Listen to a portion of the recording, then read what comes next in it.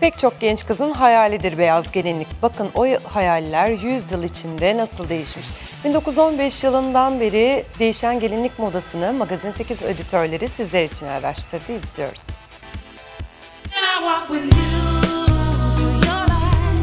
Modadaki retro akımı gelinliklere nasıl yansıdı?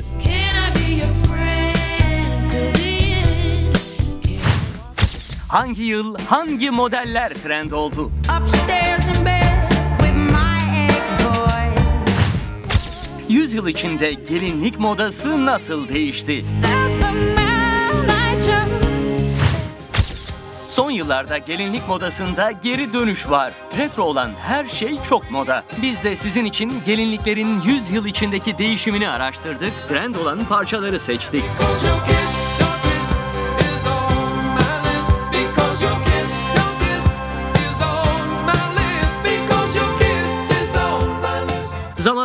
Geri sarıyoruz. Yıl 1915. Bakalım hanımlar nasıl gelinlikler tercih ediyor?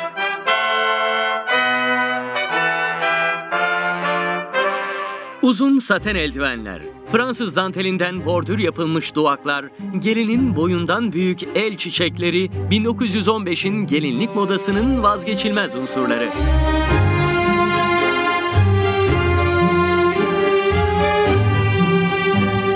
Yüzyıl boyunca gelinlik modası evrim geçirdi desek yeri. İşte bir örnek daha. Yıl 1925. Tüller, danteller yerini satene bıraktı.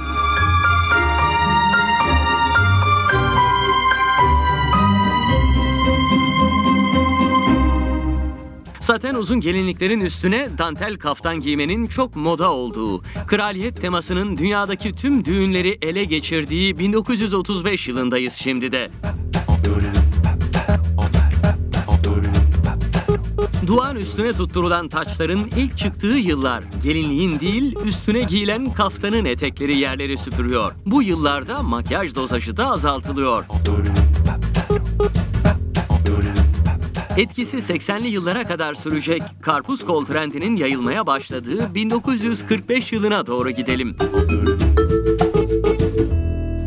Korseli gelinlikler, havalı saçlar, kırmızıdan bordoya dönen rujlar ve abartıdan uzak modeller 1945 yılının son 100 yıl içinde en zarif gelinlik modellerinin üretildiği yıl olduğunun kanıtı gibi.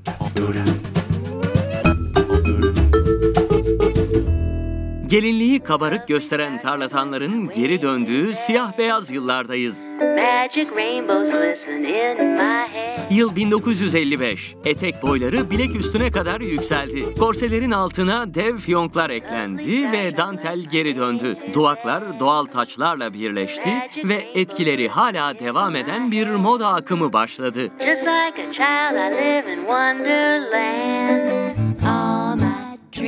Madem son yıllarda her şeyin retro olanı moda, öyleyse zaman makinamızın yönünü 1965'e çevirelim.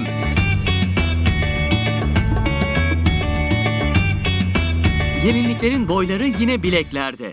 Ama kumaşlar tamamen farklı. Dantel yerine güpür, duvak taçları yerine duvak fiyonkları moda. Bu arada gelinlik üstüne zarif taş işlemeleri yavaş yavaş gün yüzüne çıkıyor.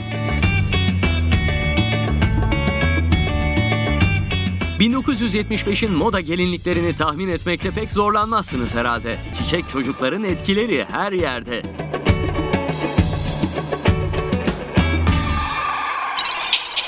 Renkli el çiçekleri, saç bantları, doğal kumaşlardan yapılmış zarif gelinlikler, hippi akımının 1975 yılındaki temsilcileri.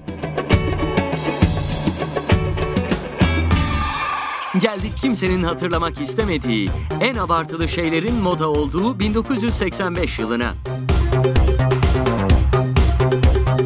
Abartılı saçlar, rengarenk makyajlar, dantelden, tülden ve işlemeden ana kumaşı görünmeyen gelinlikler ve disko çağının gelinliklere en şatafatlı haliyle yansıması. Nihayet 90'lı yıllara ulaştık. Yakın geçmiş olduğundan 90'lı yılların gelinlik modasını pek çok kişi hatırlıyordur ama hafızaları tazelemekte fayda var.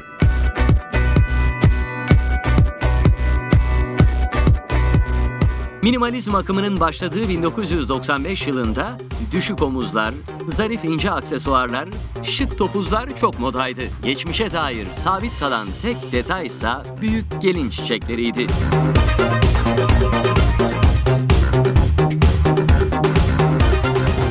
Artık milenyum çağındayız. Yıl 2005. Teknoloji geliştikçe gelinlikler sadeleşiyor. Strapless gelinlik ise en favori seçim.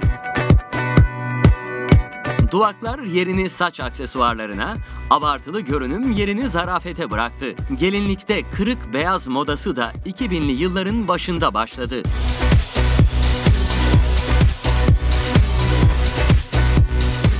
Ve günümüz retro modası hala hüküm sürdüğünden bu yıl her şeyden biraz var. 1915'ten uzun duvaklar, 1945'ten ince aksesuarlar, 1965'ten tül detaylar. Her yılın en iyi detayı seçildi ve ortaya bu kusursuz görünüm çıktı.